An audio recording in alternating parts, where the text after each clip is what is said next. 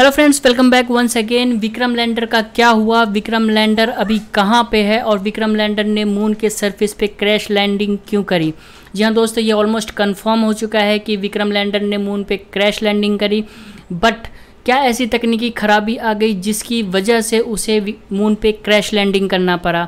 और क्यों अभी भी इसरो जो है उससे संपर्क नहीं साध पा रहा है, जबकि ऑलमोस्ट ये डिस्कवर हो चुका है कि वो मून के सरफेस पे कहाँ पे मौजूद है। इस वीडियो के माध्यम से दोस्तों हम यही चीज़ जानने की कोशिश करेंगे।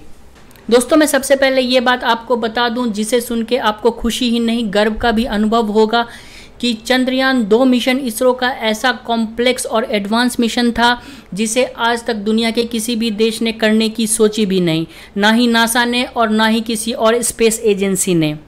इसरो का चंद्रयान दो मिशन बेसिकली चंद्रमा के साउथ पोल को स्टडी करने के लिए बनाया गया था, जिसके डिफरेंट डिफरेंट फेजेस थे, जिसके डिफरेंट डिफरेंट पार्ट्स थे। जिसके बारे में दोस्तों मैं पहले ही अपने एक वीडियो में आपको बता चुका हूँ। अगर आपने वो वीडियो नहीं देखा है तो प्लीज़ उसे देखें ताकि आपको इस मिशन की पूरी जानकारी मिल सके। दोस्तों, चंद्रयान दो मिशन में विक्रम लैंडर का मून की सरफेस पे क्रैश लैंडिंग हो चुका है बट इसके बावजूद भी दुनिया के बड़े बड़े देश, चाहे वो यूएस हो यूएसएसआर हो या इसराइल हो, इस मिशन की बहुत ही तारीफ़ कर रहे हैं। तो चलिए दोस्तों, अब हम अपने मेन मुद्दे पर आते हैं और विक्रम लैंडर की बात करते हैं। दोस्तों, इसरो ने फाइनली अपने विक्रम लैंडर को मून के सरफेस पे ट्रैक कर लिया है। उसे थर्मल इमेजिंग के थ्रू ट्रेस कर लिया है और विक्रम लैंडर से कम्युनिकेशन स्थापित करने की कोशिश की जा रही है।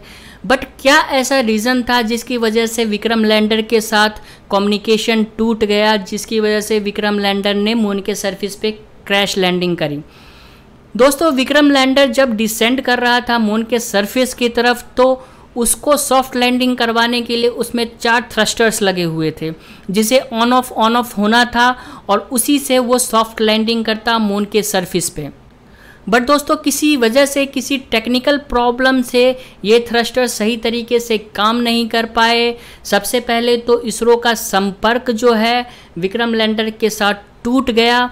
उसके बाद ये थ्रस्टर्स जिन्हें ऑन ऑफ़ ऑन ऑफ़ हो करके विक्रम लैंडर को सेफली मून के सरफेस पे लैंड करवाना था, वो नहीं हो पाया और विक्रम लैंडर अपने पोजीशन से, जहाँ पे इसे लैंड करना था, उस पोजीशन से 500 मीटर दूर पाया गया। उसे 500 मीटर दूर उस लोकेशन से ट्रेस कर लिया गया है।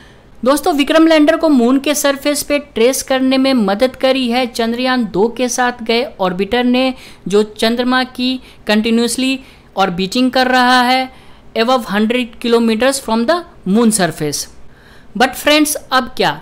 क्या वापस इसरो अपने विक्रम लैंडर को यहाँ से ऑपरेट कर पाएगा? क्या वापस उसे उस पोजीशन में ला पाएगा जिस पोजीशन में उसे भेजा गया था? और क्या विक्रम लैंडर सचमुच में वो काम कर पाएगा जिसे वहाँ पे भेजा गया था? तो दोस्तों, आपकी जानकारी के लिए बता दूँ कि इसरो कंटिन्यूसली विक्रम लैंडर के साथ कम्युनिकेशन बनाने की कोशिश में लगा हुआ है बट अभी तक कोई भी कम्युनिकेशन इस्टेब्लिश नहीं हो पाया है। जिस तरीके से खबरें आ रही है और जिस तरीके से अनुमान लगाया जा रहा है, उस तरीके से लग रहा है कि शायद ही ये ऐसा हो पाए। क्योंकि विक्रम लैंडर ने मून के सरफेस पे कुछ इस तरीके से क्रैश लैंडिंग करी है कि उसके कम्युनिकेशन इक्विपमेंट्स जो है वो डिस्टॉर्ट हो गए हैं, ख़राब हो गए हैं, जिसकी वजह से इसरो के कंटिन्यूस कोशिश के बावजूद भी कोई भी कम्युनिकेशन विक्रम लैंडर के साथ इस्टेब्लिश नहीं हो पाया है। दोस्तों, जैसा कि मैंने अपने पिछले वीडियो में आपको पहले ही बताया है कि विक्रम लैंडर का लाइफ स्पेन, जो मून के सरफेस पे है, वो जस्ट 14 डेज़ है। तो ये काम अगर 14 दिनों में हो जाता है ऑर्बिटर के थ्रू तो हो पाएगा। Otherwise it seems to be dead now दोस्तों, भले ही हमने अपना विक्रम लैंडर खोया है, उससे जुड़ी हुई उम्मीदें खोई है बट किसी भी तौर पे हमें निराश नहीं होना चाहिए और किसी भी तरीके से हमें ये नहीं करना चाहिए कि ये मिशन अनसक्सेसफुल रहा है। इसरो का चंद्रयान दो मिशन ऐसा कॉम्प्लेक्स मिशन था, जिसे आज तक दुनिया के किसी भी देश ने, किसी भी स्पेस एजेंसी ने करने की सोची भी नहीं। उसे इसरो ने कर दिखाया और 90 टू 95 परसेंट सक्सेस किया है। चंद्रयान दो के साथ छोड़ा गया ऑर्बिटर आज भी पूरे तरीके से काम कर रहा है दोस्तों, और वो कंटिन्यूसली चंद्रमा के सरफेस से 100 किलोमीटर चंद्रमा की ऑर्बिटिंग करते हुए सारी जानकारी इकट्ठी कर रहा है, जो आगे आने वाले टाइम में पूरी दुनिया को बहुत ही ज़रूरत होगी। दोस्तों, पहले इस ऑर्बिटर का लाइफ स्पेन एक साल निर्धारित किया गया था बट अब इसे बढ़ा के 7.5 इयर्स कर दिया गया है, जो बहुत ही एक अच्छी न्यूज़ है।